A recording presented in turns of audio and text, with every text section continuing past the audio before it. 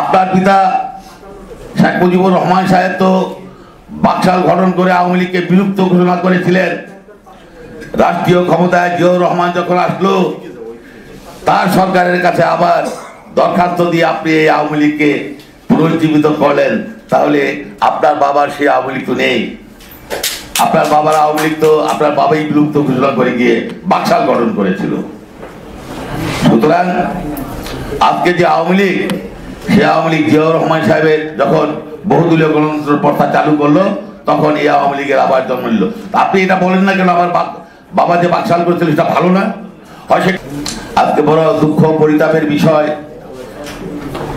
মৌলানা ভাসানী সেদিন আসসালামু আলাইকুম জানিয়ে শুধু পিন্ডিকে বিদায় করতে চান নাই, আর দিল্লির দাসত্বও চান নাই।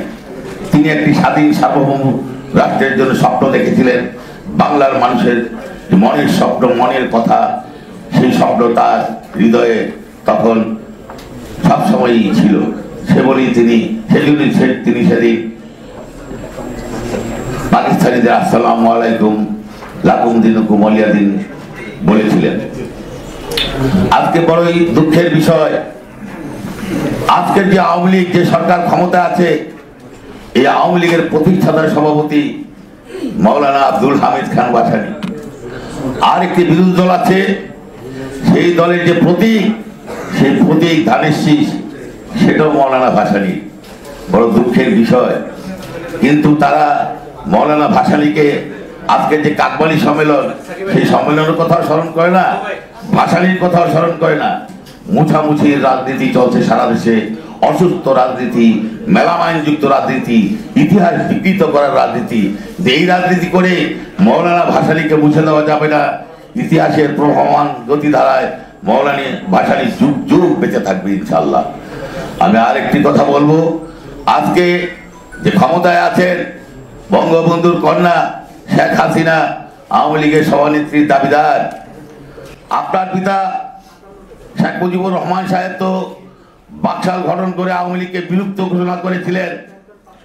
রাষ্ট্রীয় ক্ষমতায় জিয়াউর রহমান যখন আসলো, তার সরকারের কাছে আবার দরখাস্ত দিয়ে আপনি এই আওয়ামী লীগকে পুনর্জীবিত করলেন।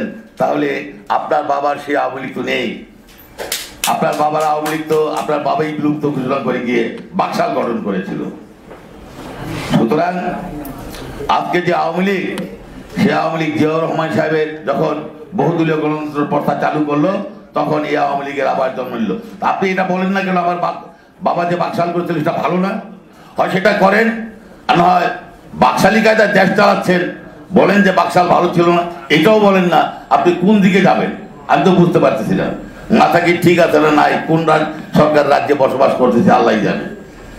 আমি আমার এখানে আলোচক বৃদ্ধ আছে সে আলোচক কাছ থেকে আমরা বক্তব্য শুনব, মৌলানা ভাসানির কথা শুনব। মৌলানা ভাসানি আফ্রো এশিয়া তথা লাতিন আমেরিকার অন্যতম জননেতা ছিলেন। মৌলানা ভাসানি একদিনই, মৌলানা ভাসানি হয় নাই। এদেশের নিষ্পীড়িত, নিপীড়িত, দরিদ্র, বঞ্চিত মানুষের বিরুদ্ধে পক্ষে সংগ্রাম করতে গিয়ে তিনি মৌলানা ভাসানি হয়েছিলেন। মৌলানা ভাসানি দুর্ভিক্ষের সময় ছিয়াত্তর বছর বয়সে পঁচাত্তর ঘণ্টা তিনি পঁচানব্বই বছর বয়সে ছিয়ানব্বই ঘণ্টা তিনি অনশন করেছিলেন দুর্ভিক্ষের বিরুদ্ধে কথা বলতে গিয়ে। এই দুর্ভিক্ষের বিরুদ্ধে কথা বলতে গিয়ে শেখ মুজিবুর রহমান সাহেবের আমলে অনেক প্রাণ হারিয়ে গেছে। সেদিন শেখ মুজিবুর রহমান সাহেবের এই দুর্ভিক্ষের বিরুদ্ধে, কম্বল চোরের বিরুদ্ধে কথা বলতে গিয়ে মানুষ ঘোষকে বিদায় নিতে হয়েছে। খুলনার আলী শ্রমিক নেতা আলিয়া জমকে বিদায় নিতে হয়েছে, বিদায় নিতে হয়েছে। মুন্সিগঞ্জের বিধবা মায়ের একমাত্র সন্তান প্রেমানন্দকে সর্বশেষ